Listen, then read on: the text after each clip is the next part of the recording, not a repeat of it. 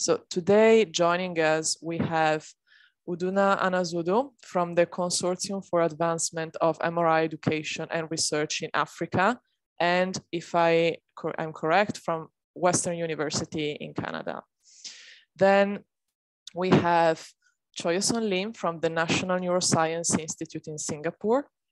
And finally, we have Valerij Kiselev from the University Medical Center in Freiburg. Um, let's see if the poll can be stopped now. What do you think, Francesco? Okay, so um, thanks. This is very insightful feedback for us. Um, and uh, yeah, I'm glad to see that all of you will participate again in another workshop. We'll take it for you know future discussion. Thanks very much. So um, going into the panel discussion, as I mentioned, I would ask um, the, the three panelists we have joining us today to you know, do a, a, quick round of maybe a couple of minutes to explain their background and their experience with open research and open science so far. And then we can move to in-depth questions about the, the topics that have been introduced already by some of the speakers. So um, I would start maybe with Udunna Anazodo. Uh, thank you very much, Emma. Can you all hear me? Yes. Excellent. Yeah, so thank you so much. I, I'm sorry I missed a little bit of some of the MR Together sessions, but this one has been quite exceptional and I did enjoy all three talks and each of them sort of have an aspect of what drew me to, um, you know, more so not just open science, but being able to make healthcare or access to healthcare more accessible. Um, I think I come at it from both a scientific interest, but also a personal uh, uh, you know, reason for that. I, I was uh, born in Canada, but I grew up in Nigeria, and um, I've I've had personal, uh, uh, you know, issues with access to healthcare, and uh, I'm not gonna, you know, sort of get into that, but there is a personal drive for being able to make sure that you know people in low resource settings, just like uh, what uh, Sonal talked about uh, when she talked about what's, you know, India and some of the issues they have in India. The issues they have in India is pales in comparison to the issues that we have in Africa. And, and you know, in India, there is obviously uh, some, I think, growing um, uh, uh, political will from the federal government to start to provide, um, um, you know, access to healthcare. We don't have that in Africa. And Africa, also, it, you know, it's a continent made up of different countries. So different countries have different approaches to healthcare. Um, I'm an MR physicist uh, by training. I do mostly brain imaging, but um, you know, coming at this from a physics or engineering or uh, being able to, uh, you know, we talked about uh, making image um, softwares accessible. I do a lot of image analysis. Um, and so coming at it from that angle is where I'm trying to work on, as well as what uh, Sonal talked, uh, Sonal talked about today, which was um, the human resource gap it's all good to provide uh, MR scanners. And just like what you mentioned in India, there are those key uh, cities like Delhi and Mumbai where you have access to MR uh, scanners or where you have uh, MR services that are on par to what we have in the West. Uh, in places across different countries in Africa, we don't have something that's similar in the sense that there are maybe pockets of, of centers that may have what comes close in terms of quality uh, to what you can expect at a um, middle level um, MR or imaging center here in the West. However, the biggest problem we have is a turnover rate. So if this, if this clinics, most of them are clinics, are able to attract the handful of foreign, not local, foreign uh, um, personnel, so foreign technologists, foreign physics, uh, sorry, foreign uh, radiologists sometimes, they're not able to retain them. And so that's a, that's a, a, a different issue um, and, and how we train them. So, so there are not um, that many MR physics program. There are not that many neuroradiology uh, program for, uh, for radiologists because brain is a big uh, a clinical indication. We found that because we've done uh, some uh, surveys uh, in the region. And so even just being able to, uh, to come, come up with ways to train is, is something that obviously um, that I'm also interested in doing. And I'll stop here for now because some of these uh, questions can be, can be raised and addressed. But just going back to your question, Emma, for me, I come at this from a personal um, um, both the personal and, and obviously scientific um, angle. Thank you. Thank you very much. Um, so maybe a few words from Tchoyoson Lim. Hi, good afternoon. I hope you can hear me. Yes. So myself, I am a clinical neuroradiologist and I work in a neuroscience center. It's primarily a tertiary hospital with primary hospital care. So we see all neuro all the time. And there are gaps in our scientific knowledge of the methods of science and the basic principles of MRI. So this has been a wonderful bird's eye view of the reproducibility problems, the data acquisition, the data standardization, and the important springboard to start thinking about translational research that arises from out of today's session specifically in the broader framework of the programming that has gone on for MRI together. So kudos to the organizing committee for putting together such a wonderful package. I'm still uh, at talk number 18 out of 33 that have been uploaded. So it is going to take some time to go through all the depth and the breadth of the inf information that's out there. So this has been one of the passions of mine, which is education, because education from the PhDs to the MDs has been one of the strengths of the diversity of the ISMRM. So that's the background. And uh, I'll hand off and hold my peace until we are in the full discussion of what um, we should reflect on today's talks and on some of the issues that have arisen, which are really, really very complex and very interesting. So back to you, Emma. Thank you very much. Um, and now we, uh, I'm asking a few words from the last um, panelist that we have, the third panelist for today, uh, Valerij Kiselev. Could you please tell us a bit about yourself and your interest in open science? Thank you. Hello. So I'm uh, working on uh, microstructural MRI, which is uh, getting some information about the cell scale, uh, cell properties and so on from images where you cannot resolve any cell, of course. Our images are limited to about a millimeter resolution. Cells are from 1,000 to 100 times smaller.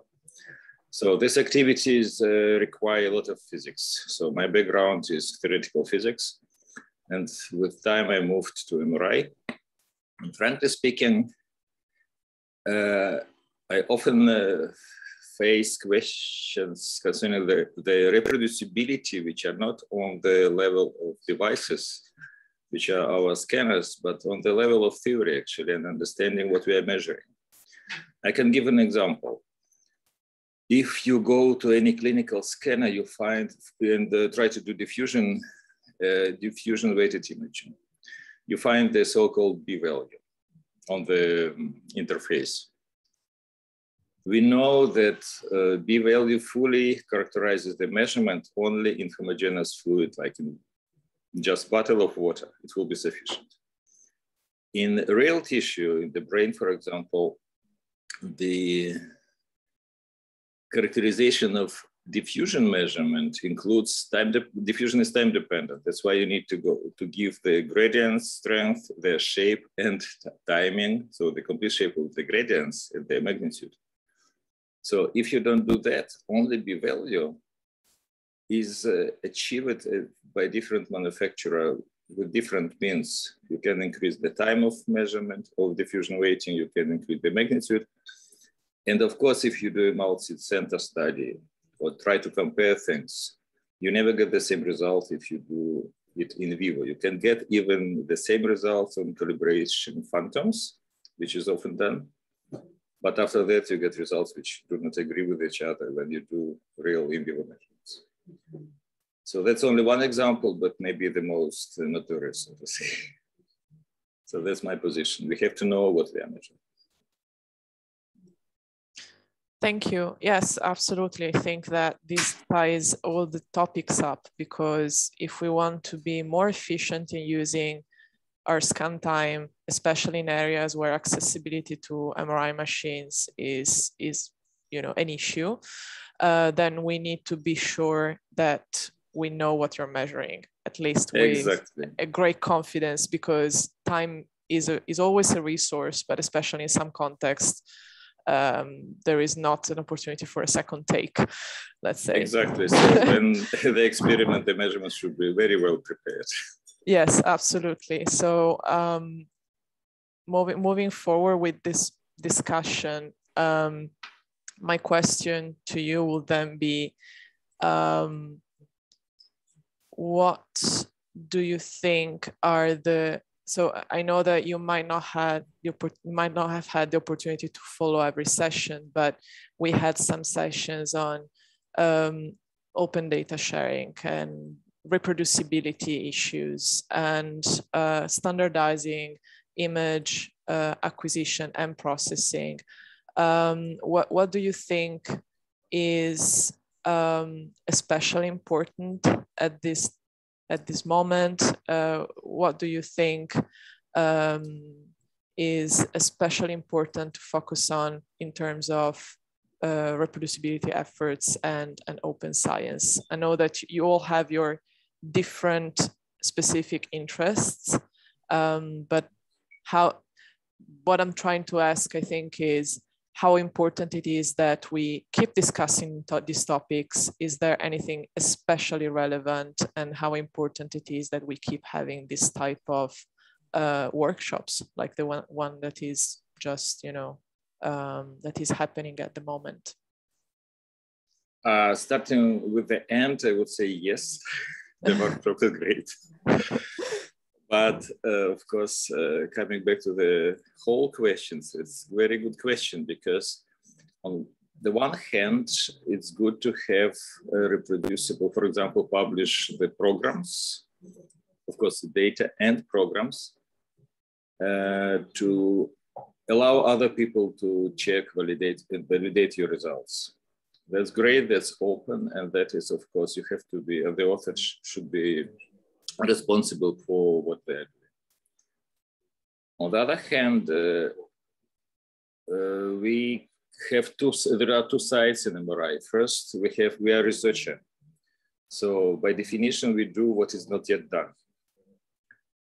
On the other hand, uh, we produce some recommendations and procedures for clinical radiology, where it should be standardized and uh, reproducible. So it's not that I would say not all should be reproducible at the first moment, so to say. So because there are some people running ahead, ahead the log, so to say, and uh, trying to do something which is not yet uh, established, those should be, of course, free. And uh, then the community should elaborate things uh, to offer the radiology. We wrote about that, that uh, preliminary or premature given some methods to to radiology is not good because the methods should be tested and validated within our community first, within the physics part of it. The examples are many because uh, there's a kind of typical paper, for example, can look like that. You have an acronym in the title, then a brief description, and then there, was, there will be a package released, which is very easy to use but nobody knows for sure what is inside. so that's not uh, what I would call uh, really reproducible science. And of course, while it is easy to use, it is used, and there are many papers uh, already from the clinical side. We use such and such method acronym and correlate it with I don't know, the disease strength or whatever. So that's not that. That should be really first uh, validated uh, between experts, I would say. So the reproducibility kind of um, has different stages. So first experts, then a broader community. So yep. that's roughly the answer. Thank you. Um, do the panelists have other thoughts on this or this summed it up pretty well? Um, I think there's a question um, from Francesco, but before yeah.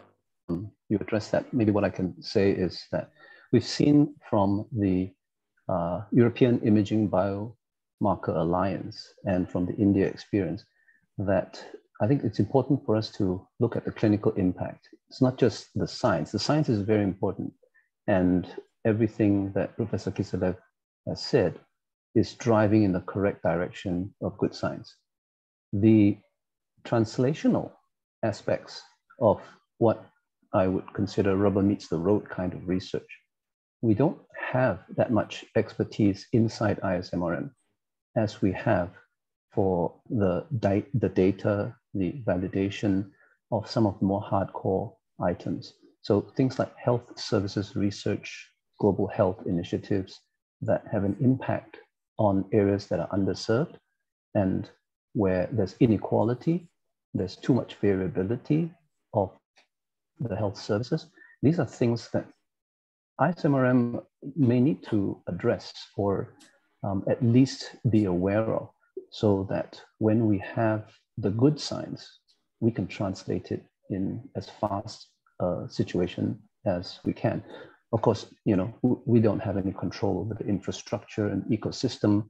Uh, I think Dr. Sonal has very, uh, very clearly articulated that it's part of a bigger whole. And it has to do with what Francesca has said, that some of these developments are in one place it may be applicable to other places. So for something like, let's say, abbreviated protocols, because we are studying the science of different contrast mechanisms and how to refine those contrast mechanisms so that they have predictive value. But we can't use all of them in, this, in the time that we have in a patient encounter. So as a clinical radiologist, I want to know where I can get the maximum mileage because my funding ministry of finance is going to say, can we cut it down? And then, of course, the commercial activities are going to say, cut it down because scanner time is many, many dollars. So we want to, to do some of this thing. And the value initiative the ISMRM embarked on previously has been a good step in the right direction. Thanks very much. Back to you, Emma. And I want to read uh, Francesca's question and also point a good uh, portion of developed methods is developed in the West, Western world. And do you see the problem of the bias when applying uh, them to different countries that are often uh, overlooked? Uh, you. Well, yeah. I answer that. Oh, yes. so actually, go ahead. Go ahead, uh, Dr. Krishna. You go ahead, and I will. I will add to your. Yeah, I don't have experience of African, but yes, definitely, I have personally seen um, that uh, what is happening, like Siemens um, and GE, their data is driven by research in the US and UK, and the same machine is sold showing uh, uh, the data which is uh, which has been uh, published in the West, and now there is a thought that it may not work in India. We already know that the the cancer profile is different in India, and uh, we know um, we have like the uh, a lot of things are different. Even like I work in HCC, I work in hepatocellular carcinoma, and even the response criteria which have been published um, don't work. So sometimes we have our own institutional response criteria. But the but the problem in india is that there is good work happening there is corruption and there is chaos so uh, there is no government driven uh, drive to um, to have standards which have which are there for example by rcr or by um, by uh, American uh, societies. So the government, uh, the stress on radiology is less, but there are now standards for example, in maternity and child health. So there now ultrasound is a part of maternity and child health. So the, the ultrasound research is very good because we have acts, for example, sex determination is illegal because people would determine and get it uh, aborted. So uh, there is a drive, but radiology uh, is clinically driven. So government wants to bring down maternity and child health, uh, uh, you know, parameters. So the ultrasound is very good.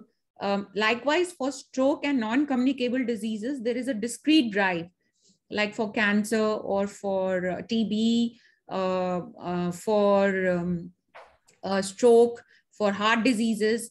So it's it's very clinically driven. So my request to all the researchers uh, is that the collaboration should happen to the clinically driven questions and there is very good work happening uh, dr thomas Wand's uh, team and uh, uh they have collaborated with what is known as amri which is automated mri um, uh, acquisition and interpretation uh, in neuroradiology and they're testing it out in northeast india where it's similar to plug and play, where you just do one or two sequences and you answer basic questions. I don't know what the results are, but but there are things happening.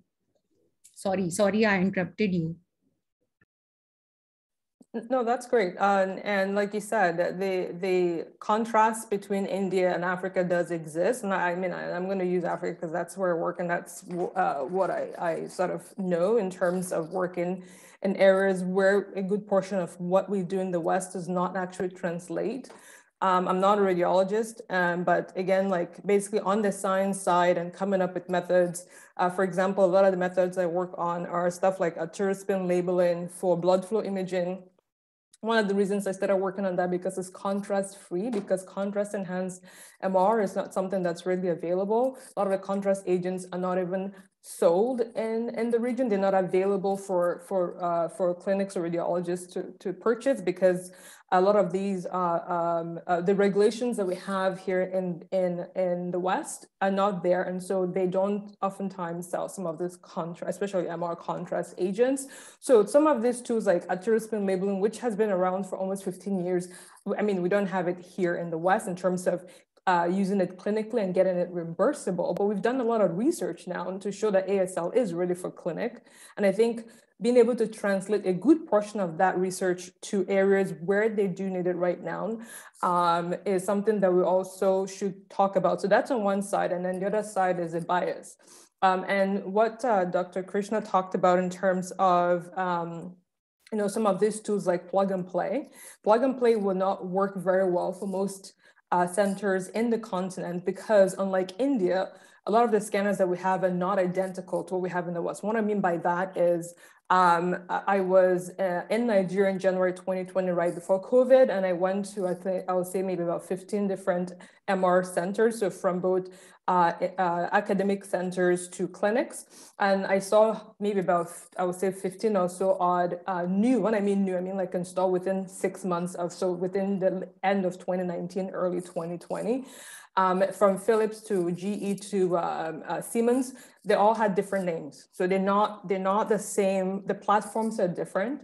Um, and, a lot of them are repurposed MR scanners that have been basically slapped with a new name. So they just have a new badge on it. So plug and play in terms of I'm going to sit in Columbia, I'm going to sit in Stanford, I'm going to produce uh, a, a, sequence, then I'm going to run it, um, you know, um, autopilot from Stanford. That won't work it won't work there because the scanners are totally different.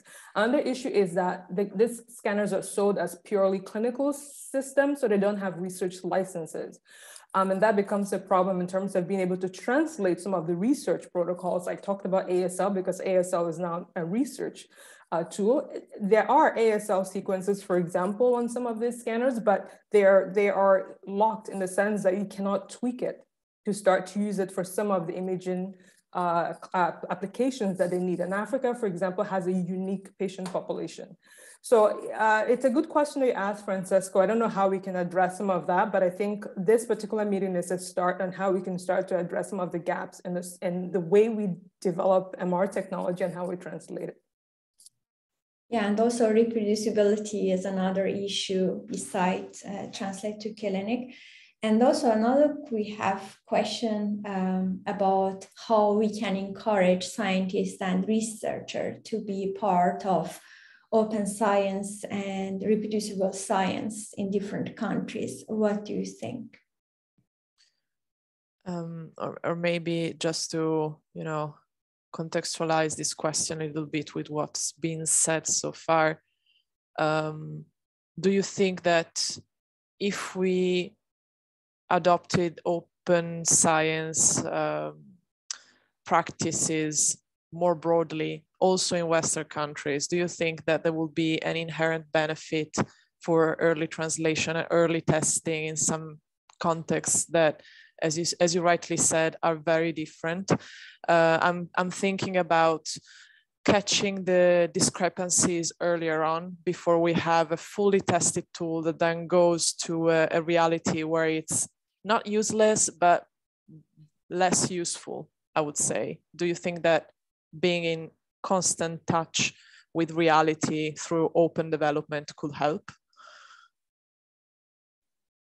Uh, well, I'm just going to start start off with that because a I think I'm glad that uh, Sonal talk, touched on that as an ECR. So, um, you know, in terms of, you know, how can we encourage uh, our scientists or clinician colleagues uh, to embrace open science, I think that there are some barriers that still have to come down. And I think that the first speaker touched on some of those barriers, the way we incentivize or the way we, um, yeah, the way we incentivize uh, science or even, even clinical practice does not at this particular time fully encourage an open science ecosystem to, to sort of exist where we all can sort of participate and not have a, a uh, cost attached to that.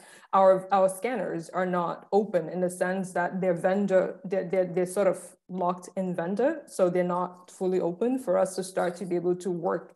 Somebody mentioned being able to do uh, join multi-site studies. We can join multi-site studies if we have different scanners. So there's still some barriers that we have to overcome for us to fully, especially in MR and imaging, for us to fully embrace uh, open science as a community. Thank you.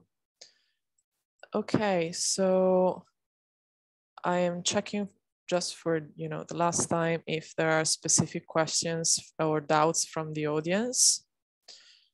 Um, and otherwise we are running a, a bit late um, and I know that some of the panelists have to leave soon.